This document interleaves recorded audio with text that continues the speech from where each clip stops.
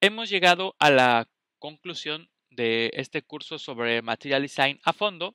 En realidad es que aún así nos quedan muchos, muchos puntos de Material Design pendientes. Lo comentaba desde un principio, Material Design es muy grande y no es solamente un botón, un elemento. Es un conjunto de elementos, pautas que podemos y debemos de seguir cuando queremos realizar una aplicación y que ésta cumpla las expectativas del usuario. Mi Twitter es arroba José de Luján, mi Facebook también es José de Luján y hagamos un resumen de lo que hemos visto en este curso. Sabemos que hemos hablado de lo que es Material Design, se abarca un poco el diseño de Material Design. Hablamos de cómo pasar una aplicación de Olo a Material Design, o sea, la forma que se trabajaba antes. Hablamos de elementos como el Coordinator Layout, el App Bar Layout, el Toolbar, el Flooding Action Button.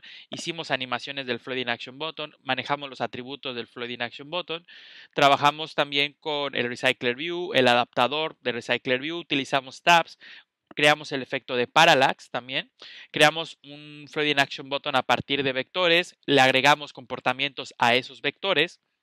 Y finalmente trabajamos con un elemento como el Car View, lo combinamos con el Recycler View, trabajamos los estilos y las animaciones, algunas de las que le podemos colocar al Car View.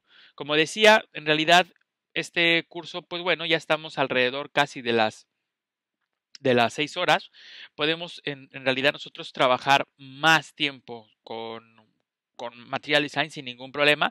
A lo mejor tendríamos que entrenar, no sé, unas 40, 25, de 25 a 40 horas, dependiendo de, de nuestra velocidad.